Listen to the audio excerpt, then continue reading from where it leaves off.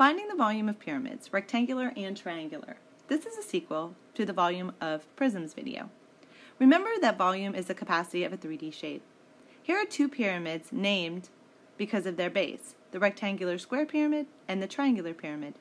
Let's first look at the rectangular pyramid by relating it to the rectangular prism. The volume formula for the prism was big B times H. Looking at the rectangular pyramid, we're going to fill it up with water, and then we're going to dump it into the rectangular prism. You'll notice the capacity is much less, but the base and the height are exactly the same. By the third pour, the pyramid will fill the prism completely up. So it takes three pyramids to fill one prism. That makes the volume of a pyramid formula V equals one third big B times H directly related to the prism, but one third. So let's talk about the parts. First, when you have a pyramid, you have the peak, where all of the sides meet. Then you have the base. Of course, having big B in the formula, the base becomes a very important part of the shape. Then you have the height, which is actually located in the middle because you can't use any of the slanted sides. But again, let's go back to the most important part, and that is talking about the area of the base. In this case, the base is a rectangle, so we know that to find the area, it's b times h. You may also use length times width. So if we use the formula that we've identified, which is one third of big B, area of the base, times the height of the shape, we can break it down and find each piece. Of course, we need to identify that base. You can't find the area unless you know what you're looking at. We have the rectangle, remembering that rectangle is that side times side, length times width, or base times height. In this case, it's 4 times 4, so the area of the base is 16. Then we look for that height, which is located from the peak to the bottom.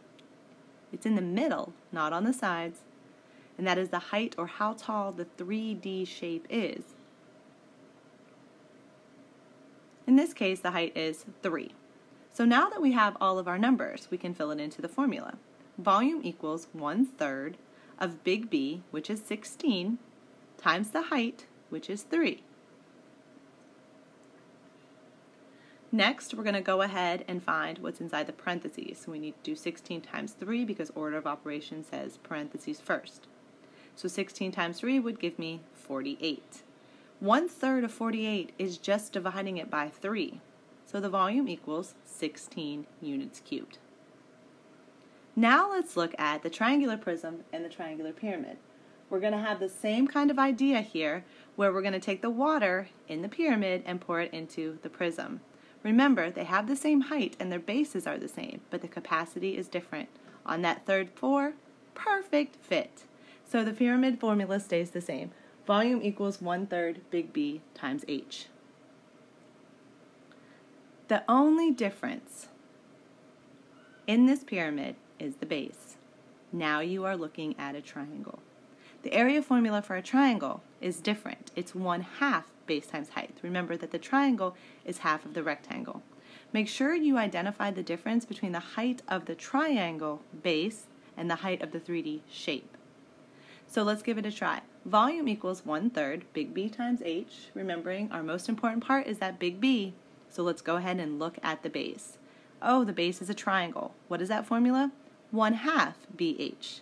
Now we need to find or identify that B and that H of the triangle, the base being at the bottom and the height being located in the middle if it's not a right triangle because you cannot use the slanted sides. So what is half of 12? 6. Now find the height of the shape. Remember that it goes from the peak to the bottom. It is not part of any of the slanted sides, even though in this case there's only three. It's in the middle. The shape has a height of 5, so we get one third of 30 Remember, 30 divided by 3, that gives us 10 units cubed. You can find all of these formulas on your chart. Please pause to look closer if you would like. I wanted to show you that even though you can find the volume formula, you may want to replace big B with the area formula for the identified base. Remember that the volume of a pyramid is V equals one third big B times H where the rectangular has a formula of BH for area and a triangle has a formula of 1 half BH